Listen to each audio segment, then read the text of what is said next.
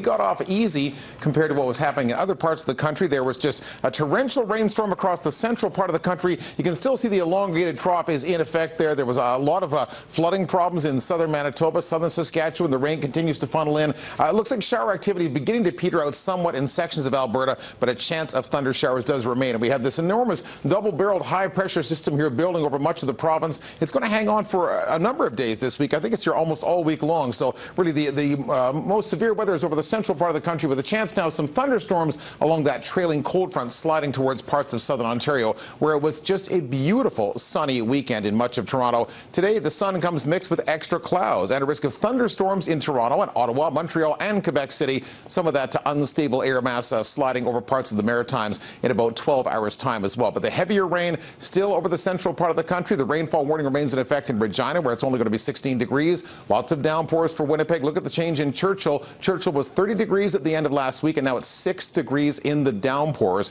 And of course, across much of Alberta, a small chance of a passing thunder shower. Looks like the worst of your weather has passed on by. So for the west coast, we're in good shape. It's going to get better for the next, uh, next several days, beginning with sun today, 22 by the water, 25 inland. And as the high pressure builds inland tonight and begins to create that offshore breeze, it's going to warm up even more so. 25 by the coast for the holiday, 30 degrees inland tomorrow, and quite nice Wednesday, Thursday, and Friday. Some marine air will bring us clouds in the mornings, and they burn off for sun in the afternoons. I don't see much in the way of rainfall this week. Small chance on Thursday with the extra clouds, but that's a bit of a hedge. Really looks pretty good for several days.